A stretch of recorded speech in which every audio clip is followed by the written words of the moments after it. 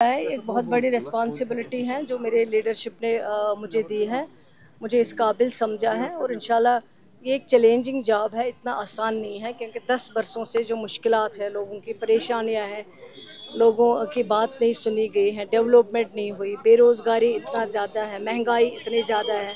हम कोशिश करेंगे इस पे काम करने की और लोगों के ये मुश्किल हल करने के लिए। बहुत बड़ी ज़िम्मेदारी आपको दी तो किस तरह से आप इसको निभाएँगे और जिस तरह से कश्मीर में पिछले कुछ दिनों से धारा तीन सौ सत्तर पे कंट्रावर्सी चल रही है क्या अभी भी मुद्दा वही है? क्या लोगों की शको शबाब डाले जा रहे हैं? उसमें क्या कहना चाहेंगे देखिए कोई शक शुबा की बात नहीं है। हमने पहले भी आ, जब हमारी पार्टी कोर्ट में, अगर ऑनरेबल सुप्रीम कोर्ट में किसी ने इसके लिए लड़ा, अपना वकील मुकर किया, उन्होंने वहाँ पे इसके लिए दलीलें दी हैं और हमने जो मैनिफेस्टो बनाया, उस मैनिफेस्टो में जो जो हमने छत्तीस पॉइंट्स रखे हैं, उन छत्तीस पॉइंटों पे इंशाल्लाह हम काम करेंगे।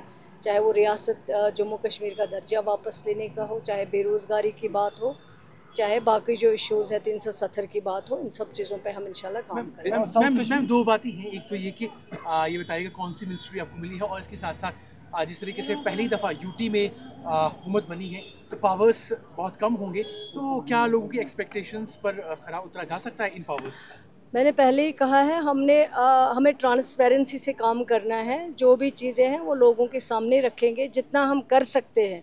जो हमारे हाथ में है वो हम कोशिश करेंगे करने की। जो हमारे हाथ में नहीं होगा वो हम सीधे लोगों के पास लेके जाएँगे कि ये चीज़ हमारे हाथ में नहीं है।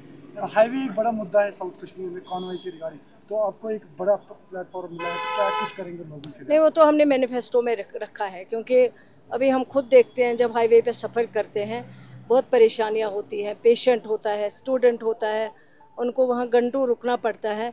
उसके लिए हमने पहले रखा है इंशाल्लाह। वो चीज़ें अब नहीं होंगी। लोगों को राहत देने की बात है। ये सरकार जो बनी है लोगों की सरकार है लोगों की आवाज़ होगी इंशाल्लाह इस सरकार हैदराबाद की आवाम ने आपको भारी अक्सरियत से जिताया। आज भी लोग आपके साथ हैं नौजवानों की उम्मीद आपसे काफ़ी वाबस्ता है। साउथ कश्मीर ने जख्म बहुत खाए हैं। जख्म मरहम कैसे लगाएँगे? इंशाल्लाह हम कोशिश करेंगे जो ज़ातियाँ उनके साथ हुई दस बरसों में जो मुश्किल उन्होंने देखे हैं उन मुश्किल ख़त्म करने के ज़रिए उनके ज़ख्मों पर मरहम लगाएँगे इन उनकी बात सुनेंगे। जैसे हम पहले भी लोगों के पास जाते रहे हैं साउथ कश्मीर की बात हम करें नॉर्थ की बात करें इन हर तबके से बात करेंगे हर तबके के लिए काम करेंगे इन जम्मू कश्मीर के लिए काम मैम कांग्रेस ने वजारत में शामिल होने से इनकार कर दिया आपका रिएक्शन नहीं कोई इनकार नहीं किया है उन्होंने वो अपना टाइम ले रहे हैं। आप इनकार मत कहिए इसको अपना टाइम लेंगे आगे आप देखेंगे वो भी इसमें